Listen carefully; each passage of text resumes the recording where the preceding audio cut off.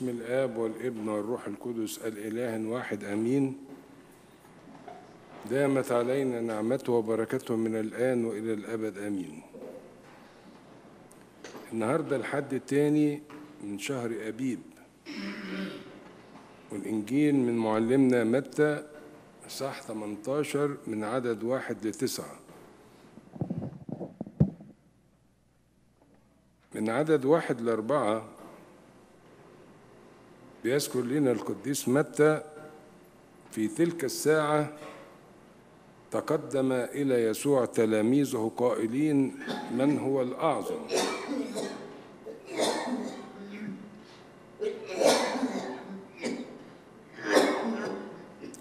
فدعا طفلا وأقامه في وسطهم.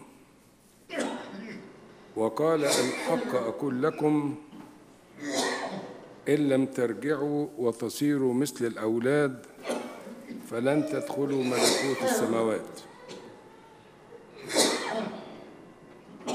فمن اتضع مثل هذا الصبي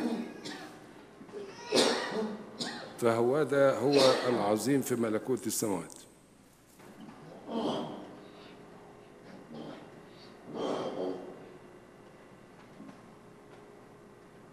غريبة أن يجي في فكر التلاميذ ويتساءلوا من هو الأعظم في ملكوت السماوات أو من هو الأعظم. مع أن ربنا يسوع المسيح علمهم وعلمنا تعلموا مني لأني وديع ومتواضع القلب. وكانت إجابة ربنا يسوع المسيح بأسلوب رائع جدا أقام طفلا في وسطهم وقال لهم الحق أقول لكم إن لم ترجعوا وتصيروا مثل الأولاد فلن تدخلوا ملكوت السماوات. فالإجابة واضحة لكي يكون الإنسان عظيما في نظر الله ولكي يكون مدحه من الله وليس من الإنسان لابد أن الإنسان يرجع ويصير مثل الأطفال. نصير مثل الأطفال في إيه؟ ما في عيال بيعملوا دوشة في الكنيسة وبيخربوا في الكنيسة وفي بيتهم بيعملوا مشاكل في المدارس.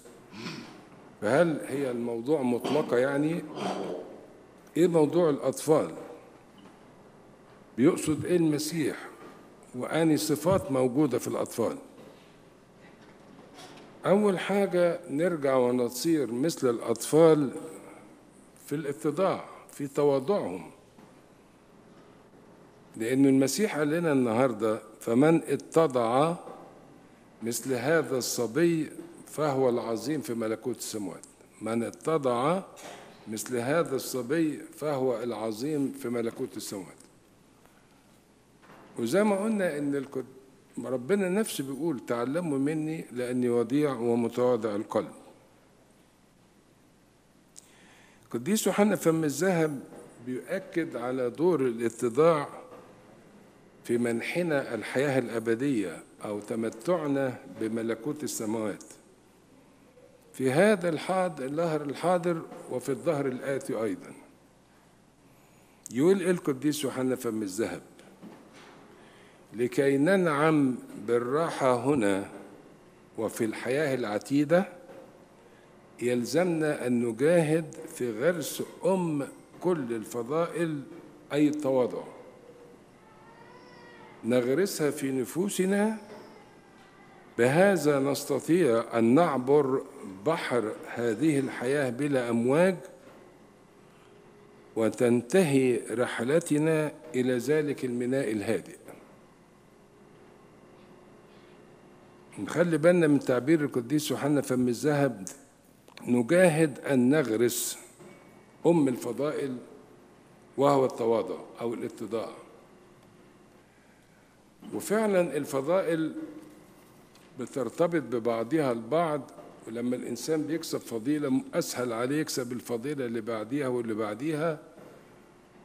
وبعض الآباء شبهوا الفضائل زي السبحة حبات السبحة دي مجموعة الفضائل والخيط اللي بيربط حبات السبحة هي دي فضيلة الاتضاع. بحيث أن هناك ممارسات كثيرة بعض الناس ممكن يقولوا عليها فضائل بس لو ما كانش فيها فضيلة الاتضاع ما تبقاش فضائل. زي الفريس اللي دخل يصلي كان صاحب فضائل بيصلي وبيصوم وبيدفع العشور. لأنه ما كانش عنده اتضاع وبيتكلم بكبرياء في صلواته اللهم أشكرك إني لست مثل باقي الناس أصوم يومين وعشر أموالي ولا مثل هذا العشار. شايفين مفيش حتة الاتضاع بل في كبرياء واضح. فخرج غير مبرر. فالممارسات اللي بيمارسها إن كان صوم وصلاة وعطاء دي فضائل عظيمة جدا لو مصحوبة بالاتضاع.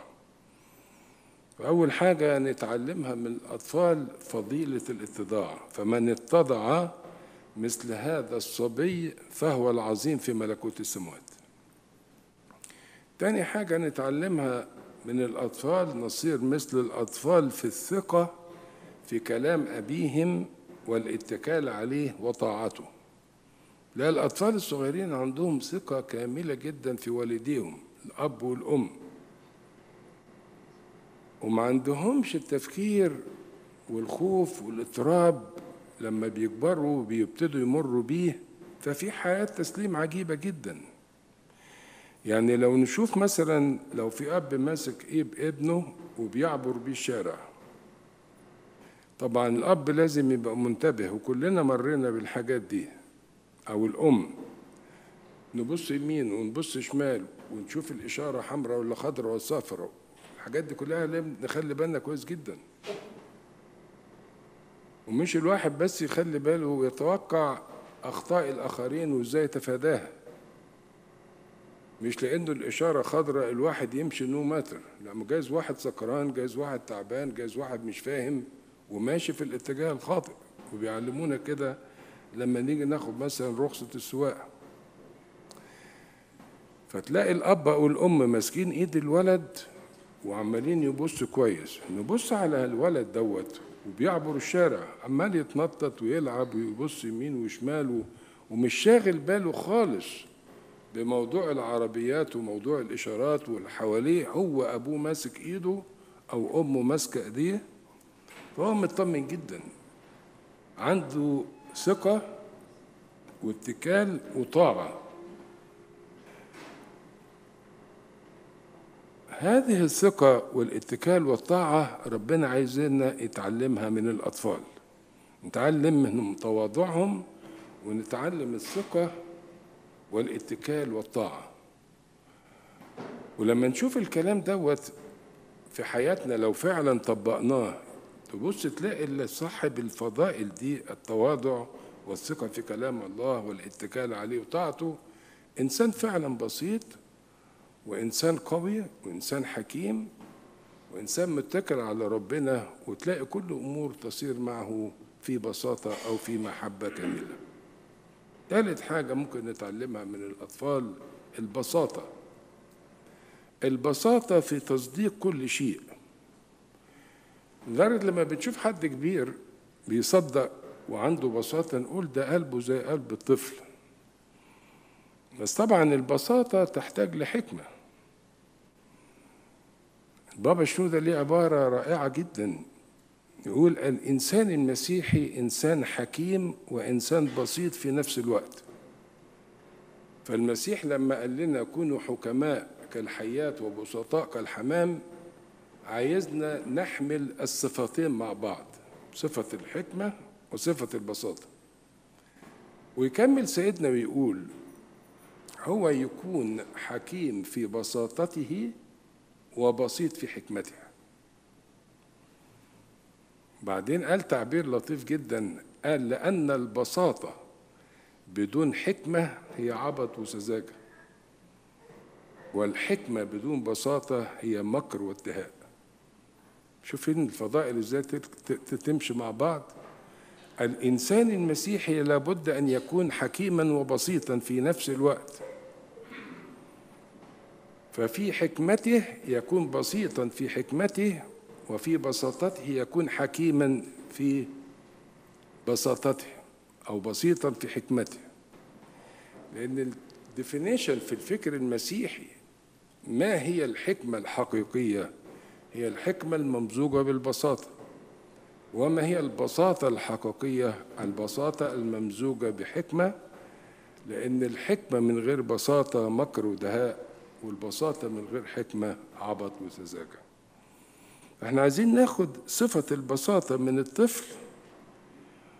والمسيح بيقول لنا هنا الرجوع إلى الطفولة إن لم ترجعوا وتصيروا مثل الأطفال.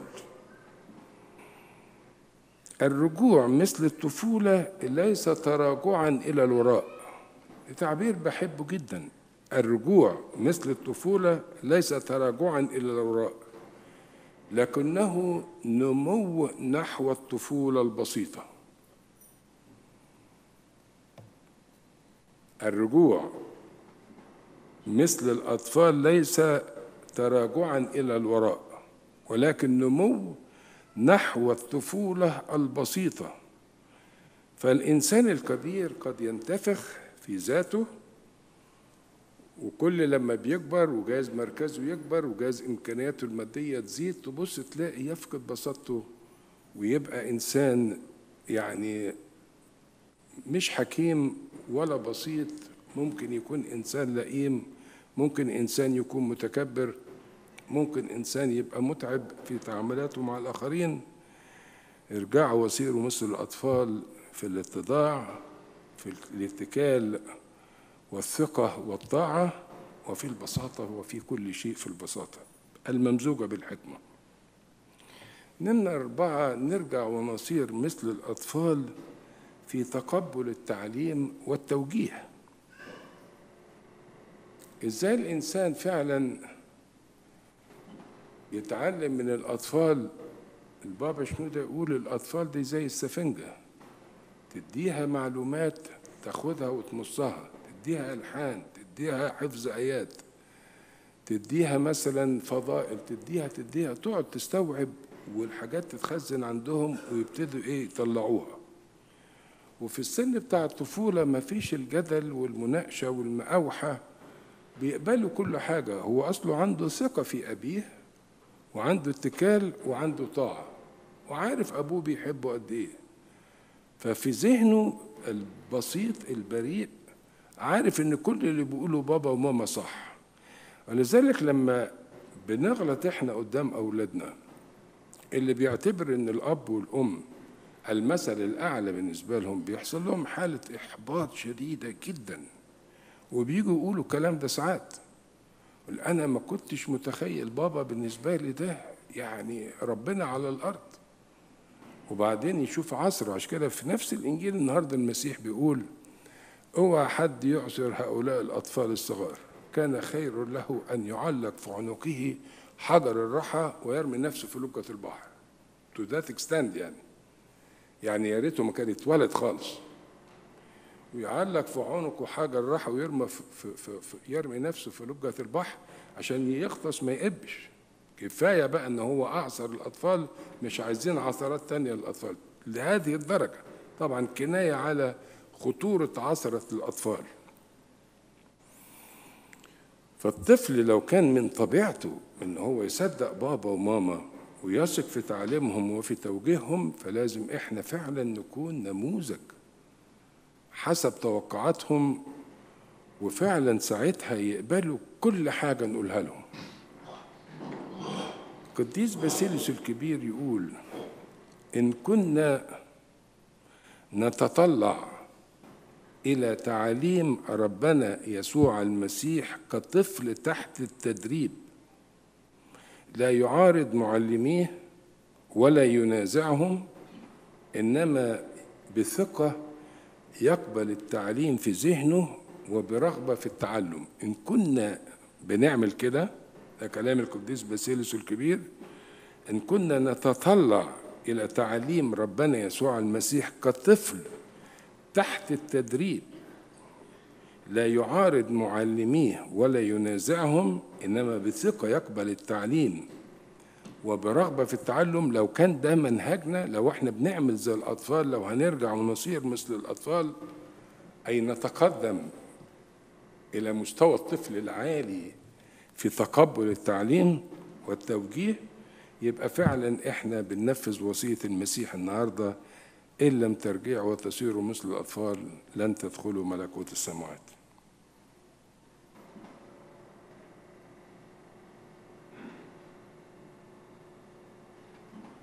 نمرة خمسة نرجع ونصير مثل الأطفال في التسامح المطلق. الطفل من طبيعته ما يحتفظ في قلبه بأي ضغينة. ممكن يتخانق بسرعة بيجي لنا شكاوي من الجيم لما العيال بتلعب ممكن يتخانق بسرعة. وجايز عقبال لما الكبار يتدخلوا ويبتدوا يتكلموا تلاقي العيال اتصالحت نفس العيال اتخانقت وبيلعبوا تاني في نفس الوقت. مفيش دقايق ثواني. طفل عنده تسامح مطلق. فالطفل لا يحفظ في قلبه بأي ضغينة.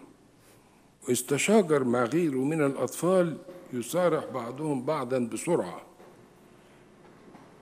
قديس أمبروسيوس بيقول إن كان الأطفال سرعان ما يتشاجرون معا لكنهم أيضا سرعان ما يعدون يجتمعون معا بصداقة عظيمة إذ هم لا يعرفون السلوك بمكر وخداع.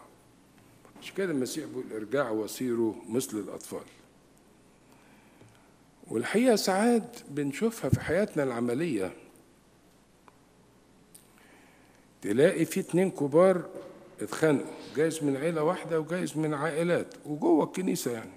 مش جوه الكنيسة بيتخانقوا ممنوع خالص إنما اختلفوا يعني. فتبص تلاقي عايزين يفرضوا على العيال الصغيرين ان برضه يبقوا متخانقين وما يكلموش بعض. والعيال ولا هم هنا. أنا مالي ومال بابا مختلف مع انكل فلان فبص تلاقي العيال بيلعبوا مع بعض وهفن مع بعض. ويجي بقى بعدم ذكاء الأب والأم. العيال دي ما تلعبش معاهم. ليه يا بابا وماما؟ دلوقتي حلوين قوي معانا كويسين. هيقعد يقول له بقى عشان أبوه عمل معايا كذا. لا لا لا دي عيلة وحشة ويروح إيه خبط في العيلة كلها. العيال ولا هم هنا ويستمروا. شفتها أنا مع بعض عائلات في حتة الخدمة اللي خدمت فيها كتير في أمريكا. قعدوا الكبار مختلفين لسنوات كثيرة. والأولاد ولا مدين اهتمام للبابا وماما و uncle وطنط هم بيلعبوا مع بعض ومبسوطين مع بعض وكبروا وخلصوا ال high school وراحوا الجامعة وقعدوا على اتصال ببعض. وبعدين في أحد أفراح بتاعتهم اتلقيت حتى الأولاد أو شباب بقى بقى رجالة كبار وسابوا بعض من سنوات كثيرة ولسه الأب والأم مختلفين مع الأب والأم في العيلة الثانية وتلاقيت الشباب ده جايين مسافرين مسافات آلاف الأميال عشان يحضروا فرح صديقهم اللي لسه بابا وأنكل مختلفين مع بعض. صدقوني وشفتها أكثر من مرة. الأطفال عندهم تسامح مطلق. وإحنا عايزين نرجع في الحتة دي. نرجع في تواضعهم نرجع في ثقتهم لكلام أبيهم والاتكال عليه وطاعته. نرجع في البساطة الممزوجة بالحكمة. نرجع في تقبل التعليم. نرجع في التسامح المطلق. نصير مثل الأطفال أيضا ودي نمرة ستة في عدم الانتقام لأنفسهم. يعني حتى لو واحد ضره أو أذاه الولد ممكن يتضايق يعمل حاجة ولكن عشان عارف إن باباه هو اللي بيحميه وباباه هو اللي ممكن يعني يجيب له حقه يروح على طول يروح يشتكي بابا ده فلان عمل معايا كذا. واحد بيقول للأولاد كده. حد ضايقك في حاجة مش يضربك تضربه. ده شغل مافيا ده عصابات مش بتاعت هنا. وللأسف بعض الآباء والأمهات بيقولوا لولادهم كده. لا ما ينفعش هنا كده. ولا ينفع بره كده. لما يجي يقول للبابا أو ماما أو يقول للأستاذ فلان أو طنط فلان أو لأبونا علشان خاطر نشوف الحكاية ماشية إزاي وتتحل بسرعة. فمن طبيعة الأطفال عدم الانتقام لنفسهم على طول يلجأ لأبوه أو لأمه. وتبص تلاقي واثقين إن بابا هيجيب له حقه وماما هتجيب له حقها واثقين انه هو خلاص الموضوع هيتحل ما دام بابا أخذ خبر في الموضوع. المسيح بيقول لنا في الحتة دي ارجعوا سيروا مثل الأطفال وثقوا أن الله سيدافع عنكم وأنتم تصمتون. نمرة سبعة النهاردة وآخر نقطة النهاردة. نرجع ونصير مثل الأطفال لأن الطفل ده بلا شهوة بلا طلب للمجد بلا حسد. لما الطفل بيكبر شوية يخش في مرحلة التين إيجر أو الأدوليسنس يبتدي الشهوات تحاربه. لكن في الطفولة في براءة كاملة جدا. في الطفولة في براءة كاملة جدا. وفي الطفولة ما فيش الحتة بتاعت الشهوات دي. ولا عندهم حكاية طلب المجد. يعني مش هتلاقي طفل بالسن الصغير يقول من هو الأعظم. ولا عندهم حكاية الحسد. وممكن يكونوا متمتعين وفرحانين بالإمكانيات اللي الأب أو الأم بيدوها لهم. إنما الخطورة لما الطفل ده بيكبر ممكن فعلا في شهوات بتحاربه. حتى الكتاب يقول ده بولس الرسول بيقولها لتيموساوس الأسقف؟ أما الشهوات الشبابية فاجتنبها أو اهرب منها. ممكن الطفل ده لما يكبر ويبقى إنسان أدلت يبتدي يبحث عن المجد. زي ما التلاميذ وقعوا في الحكاية دي النهاردة من هو الأعظم؟ كل اللي عملتوه معاكم دوت بغسل رجليكم وأقول لكم تعلموا مني لأني وديع ومتواضع القلب علشان تعيشوا في حياة الاتضاع وبعد كده برضو مش عايشين فيها وبرضو ممكن الطفل ده لما يكبر يقع في موضوع الحسد. ففي الجزئية دي المسيح بيقول ارجعوا مثل الأطفال بلا شهوات بلا طلب للمجد وبلا حسد للآخرين. أختم بعبارة للقديس كيرلس الكبير.